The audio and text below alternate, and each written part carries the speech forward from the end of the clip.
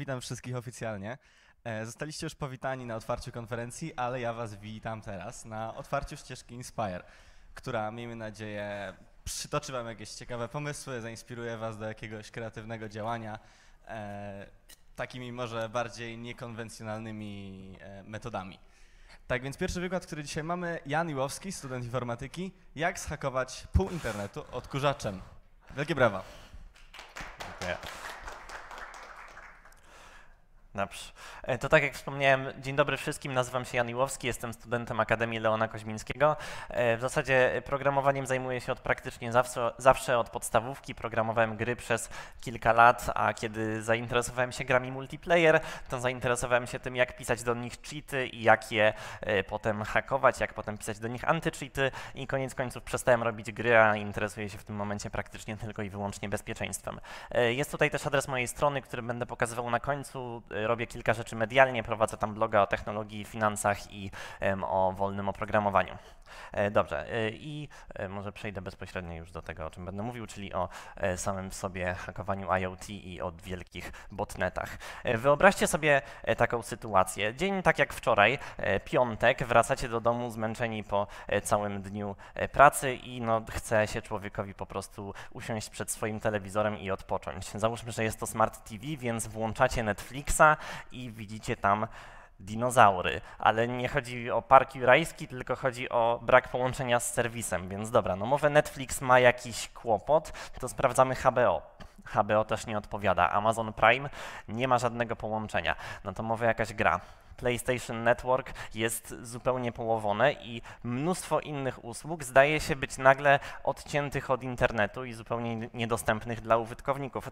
I to nie są byle jakie usługi. E, Poza Netflixami, e, serwisami streamingowymi, zdane sieci społecznościowe, Twitter, ludzie nie mogą pracować przez to, że odcięto e, GitHuba, nie ma z nim żadnego połączenia, więc ludzie nie mogą synchronizować sobie kodu i ponad setka różnych aplikacji pozornie ze sobą niezwiązanych. Zdaje się być od tego internetu odcięta i po prostu z tego internetu po, po kolei znikają. Te aplikacje mimo wszystko mają e, pewien element wspólny. Otóż wszystkie korzystają z tego samego dostawcy usług DNS, dosyć dużego dostawcy, e, który nazywał się DYNE, czyli od Dynamic DNS, który w tym samym momencie mierzy się z jednym z największych ataków Distributed Denial of Service, e, jaki w historii e, zanotowano. E, Co ciekawe, on był e, tak ogromny, że do dzisiaj w zasadzie nie do końca wiemy, jaka była jego wielkość. Bardzo trudno jest to w którymś momencie zmierzyć. E, Do tego jeszcze sobie wrócimy, natomiast żeby zrozumieć skąd biorą się takie ataki i e, jak, e, jak one są przeprowadzane i kto może za nimi stać, musimy powiedzieć sobie trochę o rynku technologicznym, bo istnieje duże prawdopodobieństwo, że e, ten atak, który położył no, prawie pół internetu dostępnego dla konsumentów, e, mógł wydawać się tak naprawdę przypadkiem i e, jego e, za nim mógł sta mogła stać osoba zupełnie niedoświadczona i nie mająca żadnej ekspertyzy technicznej. Produkty, z których znamy firmy technologiczne i z którymi e, kojarzymy z reguły duże firmy technologiczne, jak na przykład smartfony, czy e, laptopy, czy e, pecety, sprzedają się w ostatnich czasach coraz gorzej. To znaczy, od czasu, kiedy wymyślono smartfony, ten wzrost był skokowy. Wszyscy je kupowali, coraz więcej osób je, ma, je miało, ale w tym momencie chyba praktycznie wszyscy mają już, już telefony, więc ich sprzedaż w zasadzie sta, stała się płaska, a od ostatnich kilku lat nawet powoli maleje. Dlatego firmy technologiczne zaczęły sobie szukać kolejnych rynków, na które mogłyby wejść i na których mogłyby zarabiać pieniądze. E, Weźmy na przykład Apple, który do swojego iPhone'a dokłada produkty, które są takimi komplementami, jak chociażby smart zegarki, smart telewizory, smart głośniki, czy cały zestaw produktów, których oni bezpośrednio nie promują, natomiast sprzedają, nie produkują, natomiast sprzedają je we własnych sklepach, czyli cały zestaw ich produktów do smart domu, a te produkty mogą być naprawdę bardzo różne, od smart odkuwaczy, smart kamerek, smart wszystkiego, smart żarówek, które można kontrolować z telefonu, smart e, gniazdek, a jeżeli do waszego smart gniazdka nie starczy wam kabla, będzie po prostu zbyt krótki, to świetnym rozwiązaniem będzie smart e, przedłuwacz, który kosztuje 800 zł i jest do niego dołączona aplikacja oczywiście, żeby można było monitorować przepływ prądu. Tych urządzeń IoT robi się bardzo, bardzo dużo. IoT, czyli Internet of Things, internetu smart rzeczy, rzeczy, dlatego żeby każdy z nich nie miał oddzielnej aplikacji do swoich 20 przedmiotów, e, nie trzeba było używać 20 różnych aplikacji, powstają nawet aplikacje matki, które łączą te wszystkie urządzenia w jakiś jeden spójny system. E, ta sytuacja nie bierze się też z przypadku, ponieważ czemu tych przedmiotów jest tak dużo, a nie są same w sobie jakoś y, bardzo dobrze dopracowane? Otóż same w sobie chipy, z których one powstają, stały się w ostatnich czasach bardzo, bardzo tanie. Oczywiście w czasie pandemii były trudności w łańcuchach dostaw i trochę ceny wzrosły, natomiast historycznie jesteśmy naprawdę na samym dołku e, wykresu cen tranzystorów. To jest na marginesie skala logarytmiczna. Gdybym pokazał zwykłą skalę, to ten spadek był w ogóle absurdalny i nic nie było, nie, nie dałoby się nic wyczytać z tego wykresu. E, mogę tylko powiedzieć, że e, cena jednego tranzystora dzisiaj średnio to jedna 100 milionowa ceny w 1970. Więc skoro chipy są teraz bardzo, bardzo tanie, to żeby na nich zarobić, trzeba zacząć ich sprzedawać po prostu bardzo, bardzo dużo. I to jest strategia, którą zdają się teraz kierować coraz bardziej firmy technologiczne. Żeby jeszcze bardziej sobie uzmysłowić skalę tego, jak tania dzisiaj jest technologia, e, możemy sobie porównać, że w 1956 roku cena, szacuje się, że cena przechowania jednego megabajta wynosiła mniej więcej 9 tysięcy dolarów, czyli w, w dzisiejszych dolarach około 85 tysięcy dolarów, czyli w złotówkach prawie 400 tysięcy złotych. E, w 2019 e, ta cena wynosiła około 2 milionowe dolara, czyli przy dzisiejszym kursie i inflacji to nie wiem, jakieś 100 złotych, ale no mimo wszystko e, bardzo, bardzo niewiele. Więc efektem tych wszystkich presji jest absurdalna ilość urządzeń IoT, która stale rośnie i prognozuje się, że będzie, no, producenci prześcigają się w prognozach, y, ile ich będzie w przyszłości, jak absurdalna ilość ich nie będzie w przyszłości. E, firma ARM, która produkuje znaczną część chipów, które są do tych urządzeń e, IoT wsadzane, ponieważ e, ona się wyspecjalizowała, wyspecjalizowała w produkcji chipów, które są stosunkowo małe, tanie i mogą być do tak, są idealne wręcz do takich urządzeń, szacuje, że do 2035 roku na każdego człowieka będzie przypadać około 100 urządzeń IoT do 2035. To bardzo, bardzo szybko i bardzo dużo urządzeń, z tym, że na każde z tych urządzeń firmy nie mogą sobie pozwolić na zbyt, dużo, e, zbyt dużą inwestycję. Tak? Każde z tych urządzeń musi być stosunkowo tanie, dlatego siłą rzeczy nie wydają też bardzo dużo pieniędzy na ich zabezpieczenie. Więc sama w sobie ilość tych urządzeń i z drugiej strony brak wielkich budżetów na te urządzenia, fakt, że one są produkowane masowo, e, sprawia, że mnóstwo przestępców bardzo jest zainteresowana wykorzystaniem tych urządzeń do własnych celów. A w jaki sposób można takie urządzenia wykorzystać? W jaki sposób dostać się do urządzeń IoT? No, możemy wykorzystać najprostszą drogę, czyli e, w zasadzie podatność komputerów, która jest chyba najstarszą z możliwych, od kiedy dało się wprowadzono konta użytkowników admin admin, czyli darmowe hasła, e, w sensie domyślne hasła mam na myśli, e, czyli admin admin albo root root, czy po prostu dosłownie puste hasła do urządzeń, których użytkownicy nie zmieniają, nie dotykają ich i siłą rzeczy e, te domyślne hasła zostają na bardzo wielu urządzeniach, które są wystawione do internetu. W 2012 powstał botnet, który nazywał się Karna. On był botnetem, który nazywał się, no, starał się być być, y, jak to mówił jego autor, etyczny, to znaczy stworzył go, stworzył go badacz bezpieczeństwa, który chciał przeskanować cały internet, szukając właśnie e, listy dosłownie czterech haseł. Admin, admin, root, root i admin i root z pustymi hasłami. Niestety okazało się, że do przeskanowania całego internetu będzie potrzebować mnóstwo urządzeń, które będą pingować e, kolejne urządzenia, sprawdzać, czy są podatne i tak dalej. E, wyliczył, że jeżeli miałby 100 komputerów, to zajęłoby mu to mniej więcej 10 lat. Dlatego stworzył program, który, który najpierw, kiedy znajdzie takie urządzenie, instaluje się na nim i sprawia, że to urządzenie szuka kolejnych, które byłyby, wykazy które wykazywałyby się tą samą podatnością, tak? które miały miałyby to samo domyślne hasło. W ten sposób wgrał swój program na prawie pół miliona urządzeń i znalazł jeszcze kolejne 1,2 miliona urządzeń, które są podatne i które, które używają tych czterech domyślnych haseł. E, tutaj widać mapkę, którą on e, stworzył. E, te kropki, które są bardziej czerwone albo bardziej niebieskie, to no czerwone znaczy większe zagęszczenie urządzeń, które są podatne, a niebieskie trochę mniejszą. Czemu one się zmieniają? Ze względu na, na to, że to jest jeszcze funkcja czasu, czyli widać dokładnie strefy czasowe, kiedy teraz Azja idzie spać powoli, Europa i za chwilkę Ameryka i znowu Azja się budzi i wracają do internetu urządzenia, które można bardzo łatwo zaatakować i bardzo łatwo przejąć nad nimi kontrolę. E, można sobie tę listę rozszerzyć, e, ponieważ niektórzy e, producenci nie używają tylko tych czterech domyślnych haseł, ale te hasła są publicznie dostępne. Są strony, na których można pobrać sobie bazy danych takich haseł i można spojrzeć. To nie zmienia się bardzo dużo, kiedy ustawimy hasło root 54321 albo root 000. Nadal można zgrać sobie tę bazę i spróbować połączyć się z kolejnymi urządzeniami albo z routerami, albo z nagrywarkami wideo, albo z kamerkami, z odkuwaczami, e, wszystkimi urządzeniami, które można znaleźć w internecie i które, do których można się zalogować takim hasłem. Tylko teraz ktoś powie, że w zasadzie czemu te urządzenia są w ogóle wystawione do internetu? Czemu jest tyle urządzeń, które są wystawione do internetu, skoro, skoro w sieci one powinny być tak naprawdę ukryte za NATem, tak?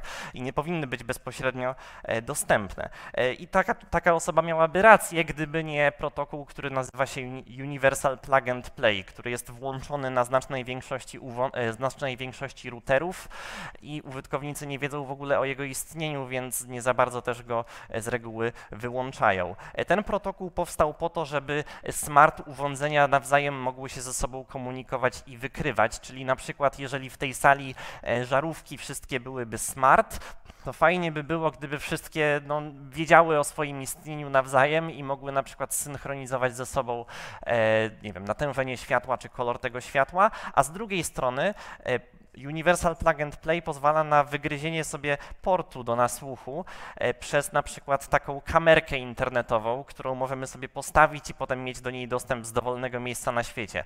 Tylko to już wymaga połączenia się przez internet. I nagle się okazuje, że Universal Plug and Play e, sprawia, że mnóstwo urządzeń, które znajdują się w naszej lokalnej sieci, tak naprawdę jest też wystawiona do internetu i mnóstwo ludzi próbuje je e, złamać właśnie tymi podstawowymi hasłami albo jakimiś podatnościami chociaż same w sobie, podatność, e, same w sobie podatności bezpieczeństwa, które nie są, e, które nie są domyślnymi hasłami, e, nawet się okazują mniej efektywne niż wykorzystywanie domyślnych haseł. A to dlatego, że użytkownicy albo wręcz automatyczne aktualizacje powoli sprawiają, że ta efektywność e, znacząco spada, więc trzeba ciągle aktualizować, ciągle do, dodawać nowe, e, nowe podatności. No, kto by chciał mieć tyle pracy, wystarczy wgrać listę domyślnych haseł i przejmować setki tysięcy, jeżeli nie, nie e, ponad milion urządzeń. Inna kwestia jest taka, że Universal Plug and Play wcale nie jest aż tak uniwersalny, ponieważ jeżeli mamy trzy różne routery, to istnieje bardzo duża szansa, że każdy z tych routerów będzie implementować UPnP, czyli skrót od, skrót od tego protokołu, troszeczkę inaczej. Znaczy, będą teoretycznie wykonywać te same funkcje, natomiast zaimplementowane będzie trochę inaczej. Więc jeżeli jeden z tych, e, jedna z tych implementacji będzie się okazywała podatna, jeżeli będzie miała e, jakąś dziurę bezpieczeństwa, to nagle wszystkie urządzenia, które są pod tym routerem, również e, można uznać, że są podatne. I to tworzy naprawdę absurdalne wektory ataku, kiedy dbamy o bezpieczeństwo jakiejś sieci. Podam wam przykład. W Stanach Zjednoczonych e, za, za, jedno z kasyn zażyczyło sobie budowę smart akwarium, e, w którym e, były prawda, termometry, automatyczna regulacja temperatury, tam oświetlenie i tak dalej. Z tym, że okazało się, że jeden z tych termometrów, smart termometrów jest wystawiony do internetu i atakujący znaleźli w smart termometrze podatność i użyli go jako początku, jako tej nogi w drzwiach którą nogi w sieci tak naprawdę tego kasyna, po czym użyli tego termometru do wykradzenia danych klientów całego kasyna. Wykradli około 10 gigabajtów danych, korzystając dosłownie z, ze Smart Aquarium. I to są to są dziury, to są wektory ataku, nad którymi musimy zacząć się zastanawiać, żeby e, nie być podatnym na, e, na e, konstruowanie tych botnetów, na coraz większą ilość coraz większą ilość urządzeń IoT. Więc tak na marginesie, żeby jeszcze raz to podkreślić, jeżeli wasz piękny smart termometr zostanie zainfekowany jakimś paskudztwem, a co więcej, jeżeli jakieś inne urządzenie w waszej sieci również będzie czymś zainfekowane, to e, te, te, te malware'y będą starały się ze sobą konkurować i te, te mądrzejsze będą e, w stanie rozprzestrzenić się na inne urządzenia w sieci i wygryźć te słabsze, te gorzej zabezpieczone. Co więcej, wiele programów, wiele programów, które automatycznie infekuje w ten sposób urządzenia, potrafi jeszcze zabezpieczyć je przed kolejnymi atakami, na przykład zamykając telnet czy zamykając niepotrzebne porty, e, czyli potrafią patchować podatności, którymi sami dostali się na dane urządzenia. Wrócimy na chwilę do historii. E, w pewnym momencie e, Uniwersytet Rutgers, to jest Uniwersytet Informatyki w, uczą informatyki w stanie Nowy Jork, został ofiarą znowu wielkiego ataku DDoS, e, który był stosunkowo specyficzny. E, było kilka kwestii, które go wyróżniało. E, w pierwszej kolejności uniwersytet otrzymywał wcześniej groźby otrzymania takiego ataku, a w trakcie ataku było, było konto na równych forach, które chwaliło się tym, co właśnie robi. Co więcej, osoba, która później okaże się być odpowiedzialna za cały atak, udzieliła w trakcie jego trwania, cały atak trwał ponad tydzień, udzieliła dwóch wywiadów na temat tego, jak, e, jak e, wykonała ten atak i jak świetny nie jest e, jej botnet, który wykorzystała do tego ataku, jak świetny nie jest ten botnet IoT. Osoby odpowiedzialne za cyberbezpieczeństwo zbierały wtedy mnóstwo informacji na temat tego, jak te ataki wyglądają. Po pierwsze, one są bardzo, bardzo duże i ilość urządzeń, tak jak wcześniej pokazałem, to są setki tysięcy w znacznej części botnetów IoT, a podatnych może być więcej niż milion podat potencjalnie nawet więcej. E, I, te, I, to jest jedna kwestia. Druga kwestia jest taka, że zdają się to robić ludzie, którzy, nie wiem, są bardzo dumni z tego, co robią. To może być uznane jako część reklamy ich, e, ich botnetu, ale z drugiej strony, no to też świadczy, nie wiem, o jakiejś pysze, tak, o tym, że chcą się chwalić tym, co robią. E, chwilę później, znaczy nie chwilę później, trochę czasu później ofiarą pada znany dostawca usług chmurowych, czyli OVH. Konkretnie ten profil ataku również również był ciekawy, ponieważ e, był bardzo podobny, urządzenia, które tam wykorzystywano, były bardzo podobne do poprzedniego ataku na uniwersytet, ale konkretnie celem ataku na OVH były e, serwery gamingowe, serwery do gier, gier wielo, e, gier multiplayerowych. I to jest ważna informacja, ponieważ ona również e, przysłuży się w złapaniu osoby, która jest odpowiedzialna za te ataki. E, I znowu schemat się powtórzył. OVH otrzymywało wcześniej groźby, po czym na Twitterze atakujący list, e, prowadził aktualizowaną listę, znaczy nie było wiadomo, kto to dokładnie jest, natomiast listę usług, które akurat nie są dostępne, a następnie chwalił się na równych forach tym, że zrzucił OVH. Kolejną e, istotną ofiarą był znany blog Krebson Security, e, czyli blog, blog Briana Krebsa, który padł wtedy ofiarą e, ataku, który jak dobrze pamiętam wynosił ponad 650 gigabitów na sekundę o, takiej, o tak wielkiej sile, do tego stopnia, że dostawca jego usług anty-DDoS, czyli w, tym, w tamtym czasie firma Akamai, stwierdziła, że no, nam się nie opłaca po prostu przyjmować tak absurdalnej ilości, tak absurdalnej ilości ilości e, danych. Tak, nie jesteśmy w stanie Cię ochronić. Strona, był, strona nie była dostępna przez 4 dni. Akamai się na pana Briana Krebsa wypięło zupełnie i odmówiła mu świadczenia dalszych usług. E, strona wróciła do internetu dopiero kiedy pan Brian dołączył do projektu Google e, Project Shield, który, jest, który ma na celu chronić właśnie strony dziennikarzy, strony generalnie bardzo istotne dla, dla internetu, szczególnie jeżeli chodzi o prasę.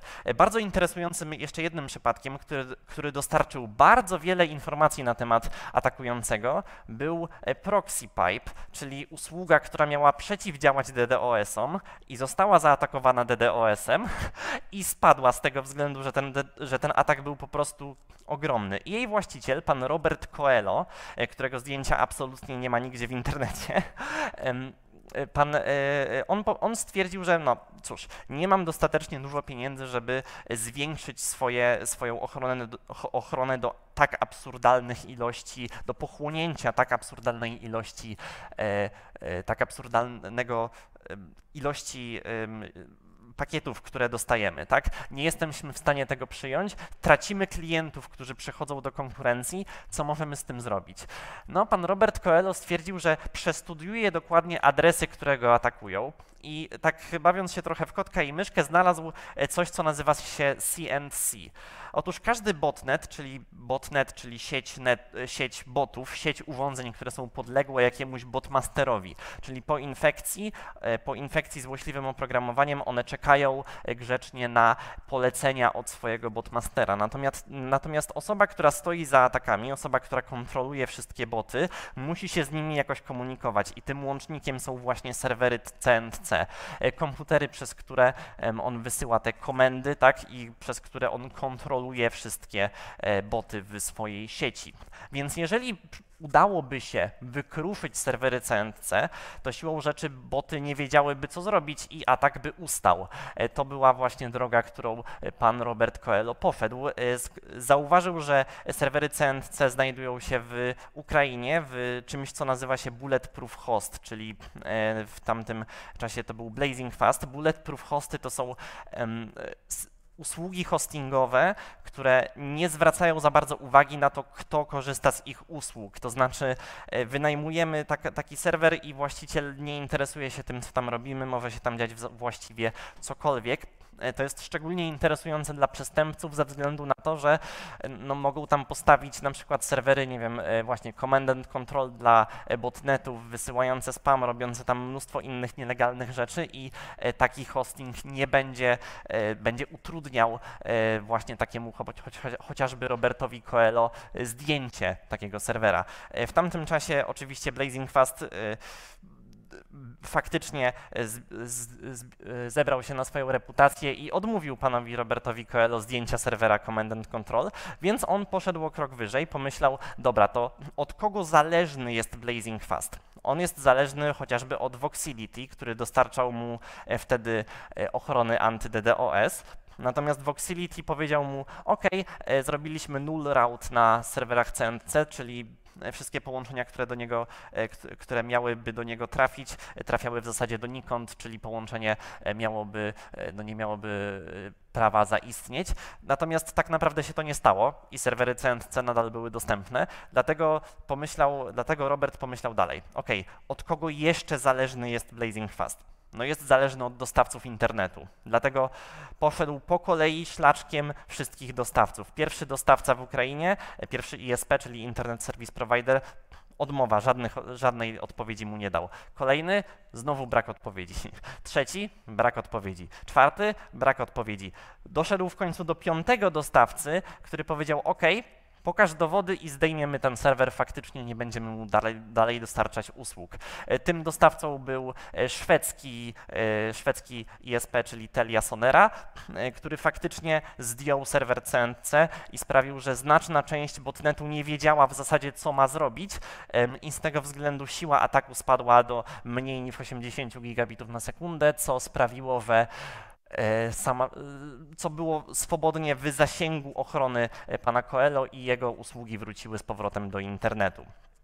To był bardzo ciekawy przypadek ze względu na to, że pan Coelho również dostawał, e, dostawał groźby podczas i w trakcie ataku. Atakujący chciał, mu chciał oczywiście, żeby pan Coelho zapłacił mu e, w kryptowalutach za ustanie samego w sobie ataku. E, co ciekawe, kontaktował się z nim przez Skype'a i mieli tam bardzo dużo, bardzo długich rozmów, które pan Coelho potem przekazał odpowiednim służbom i dostarczyły one kolejnych informacji na temat atakującego. Więc z jednej strony strony e, wszystkie groźby, które wysyłał, wszystkie dane, które o sobie opublikował na różnych e, hakerskich forach, e, wszystkie swoje nawet wywiady posłużyły temu, żeby połączyć te informacje i zbudować mniej więcej profil, kim może być ten atakujący, kim może być osoba stojąca za całym botnetem, kim może być ten botmaster. Powoli FBI dochodziło do tej, zawężało krąg osób, które były podejrzane o bycie e, tymże botmasterem i wtedy zdarzyło się coś, czego nikt się nie spodziewał. Kod e, całego botnetu został wypuszczony publicznie e, na jednym z forów, które nazywa się Hack Forums, znane z nieszczególnie technicznie zaawansowanych hakerów. Cały kod botnetu został tam publicznie udostępniony w poście Botmaster tłumaczy, że on już zarobił ile miał zarobić, nie interesuje go już więcej branża e, DDoS, nie interesuje go, nie interesuje go już więcej e, kolej, robienie kolejnych ataków, bierzcie i róbcie z tym kodem co chcecie.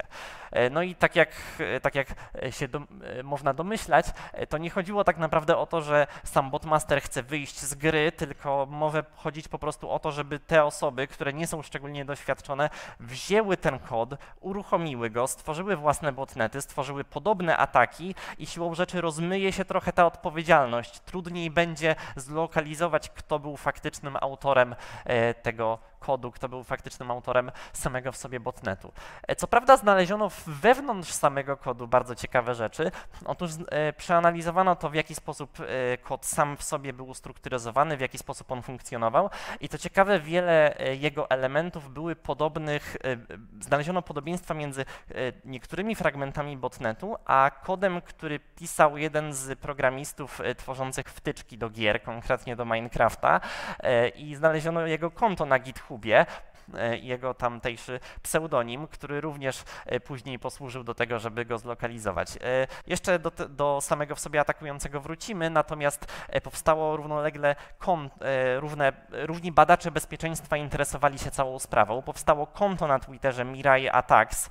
Mirai to nazwa, którą został ten botnet ochrzczony w postach w postach na różnych forach. Mirai to po japońsku znaczy przyszłość, chociaż sama w sobie nazwa nie miała jakiegoś konkretnego odniesienia do botnetu. To tak naprawdę zostało wzięte z nazwy jakiegoś anime, które bardzo lubił Botmaster.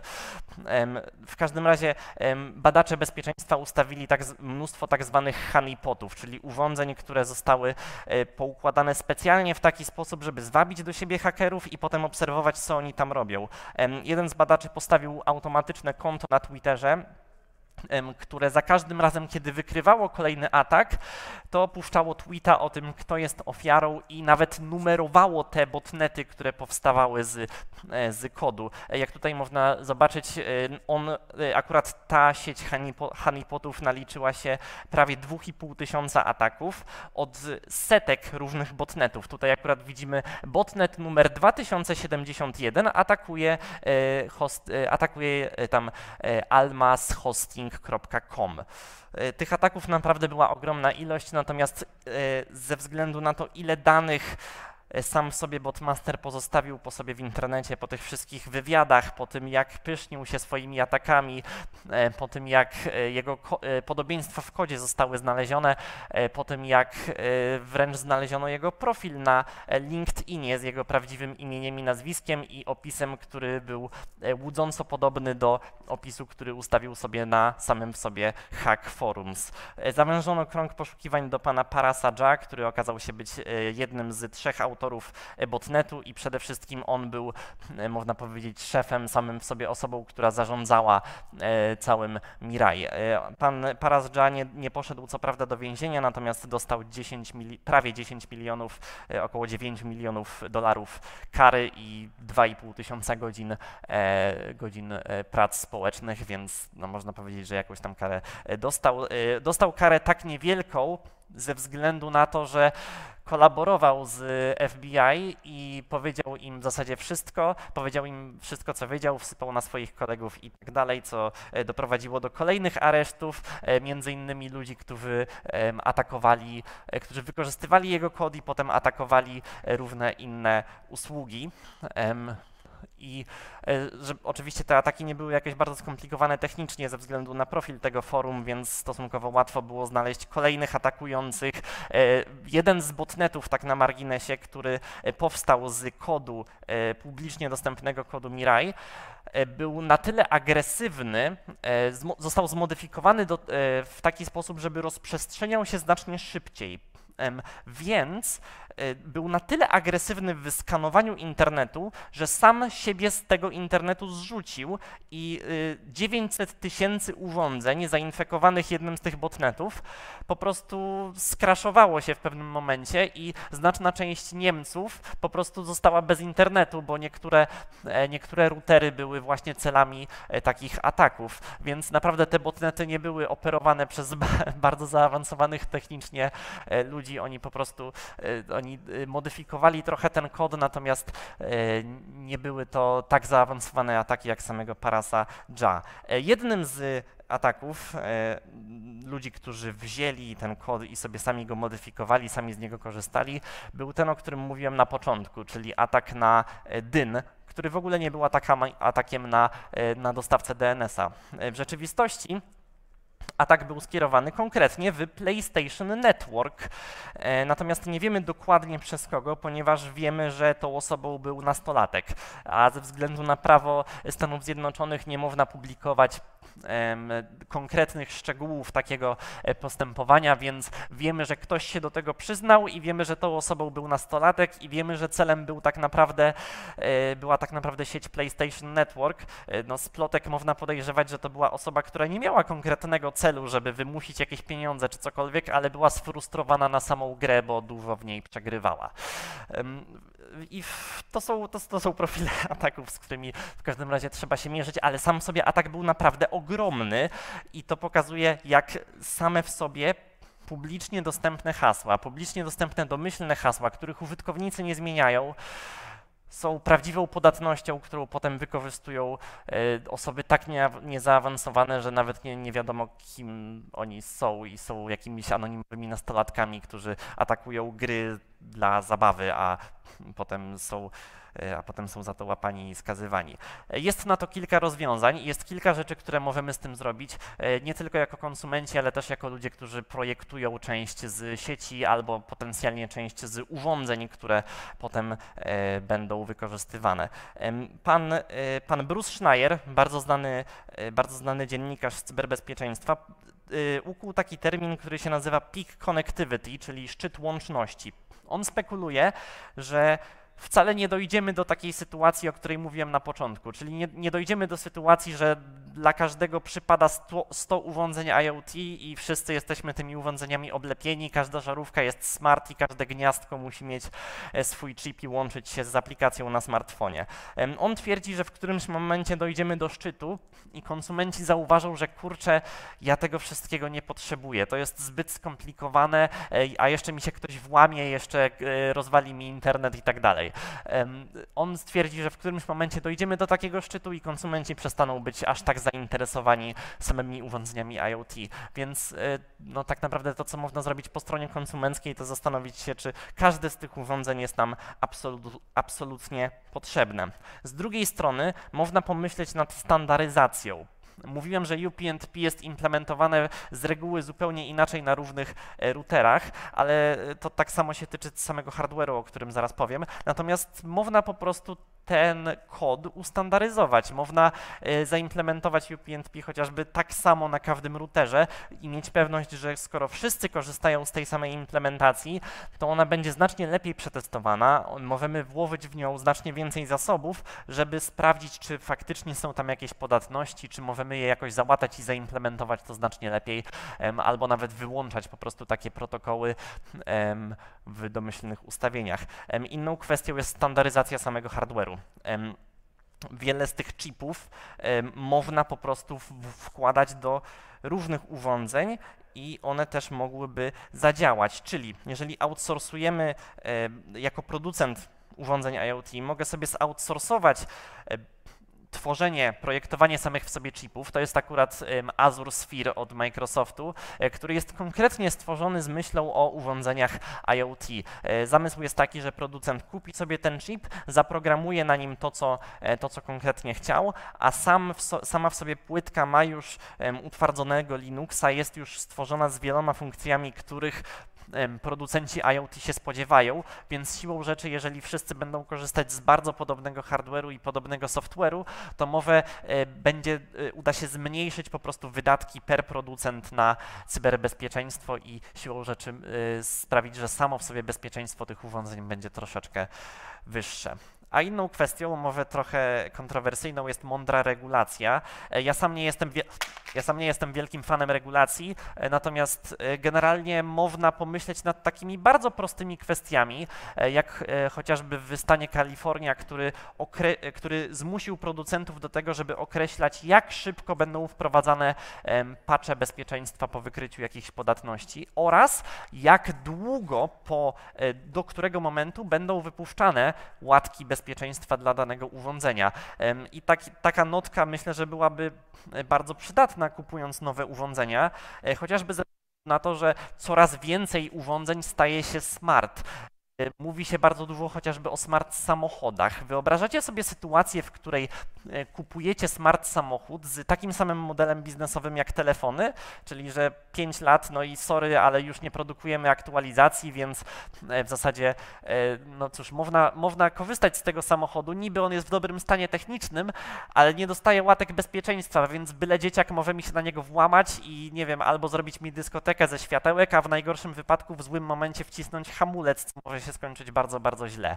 E, dlatego to, to jest kwestia, której, którą mowę powinni się powolutku zainteresować e, regulatorzy, tak przynajmniej myślę. W stanie Kalifornia jest też za, zakazane korzystanie z domyślnych haseł, e, to znaczy e, konieczne jest, e, zmusza się producentów urządzeń do tego, żeby zmieniali, żeby zmuszali użytkowników do zmiany domyślnych haseł, żeby te hasła po prostu nie były wykorzystywane hasła admin admin, tylko użytkownik zanim zacznie korzystać z urządzenia musi je zmienić na coś tam, tak? I to coś tam niezależnie jakie, jakie je sobie wymyśli, fajnie, żeby to było oczywiście e, silne hasło i żeby korzystał z menadżera haseł, ale jeżeli to nie będzie admin admin, to już od wielu botnetów się i tak uchroni.